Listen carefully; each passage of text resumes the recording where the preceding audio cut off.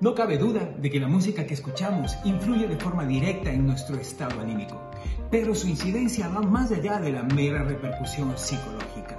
Sus efectos reflejan beneficios en la presión arterial, frecuencia cardíaca e incluso en la saturación del oxígeno. Uno de los descubrimientos más innovadores en torno a la música es que las áreas límbicas del cerebro, es decir, aquellas que están asociadas con nuestras emociones, se ven afectadas directamente, tanto por el ritmo como por la tonalidad de la música que escuchamos. Ahora, en cuanto al tipo de música que elegimos de escuchar, la clave está en encontrar el ritmo que pueda favorecernos en cada situación específica, de modo que podamos sacarle todo el partido a nuestro favor. Por ejemplo, la música clásica nos ayuda a mantenernos concentrados y relajados. Pero si lo que necesitamos es elevar nuestro estado anímico, entonces nos conviene escuchar música que nos guste, que nos llene de alegría y nos llene de energía.